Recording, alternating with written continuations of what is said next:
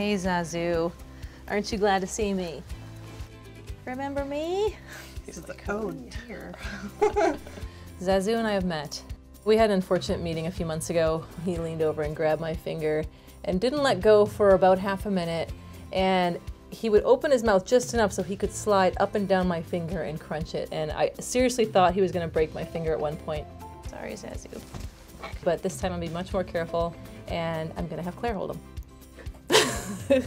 so this is a Dremel. It's important for the parrot's beak to not have these different cracks and layers because if they start chewing on something really hard, they can actually cause a major crack. Okay, bud.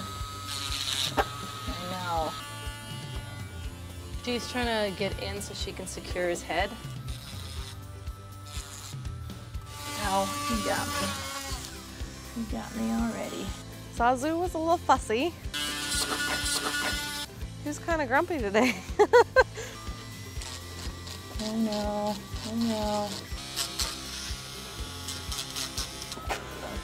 I've smoothed it out a bit and definitely shortened it up a lot. We'll give him a break now and I think we should do it again in about a month. Okay.